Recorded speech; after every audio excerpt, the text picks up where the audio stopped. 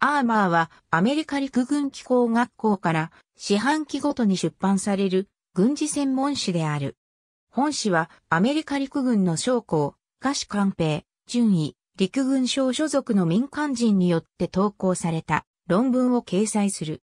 論文の内容は訓練、演習、作戦、ドクトリン、装備、歴史、諸外国軍の動向、個人的意見、その他機構及び騎兵コミュニティにとって一般的に関心のある論題である。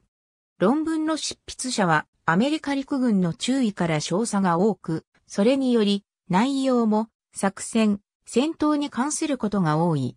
掲載されている論文は執筆者の個人的見解であり、必ずしもアメリカ陸軍、陸軍訓練競技コマンド、陸軍機構学校の公式見解ではない。本誌は過去のアーカイブも含めてホームページ上に無料で公開されている。本誌の任務は次の4点である。機構下部長が説明するアメリカ陸軍のドクトリン、方針等に関する公開討論の場を提供すること。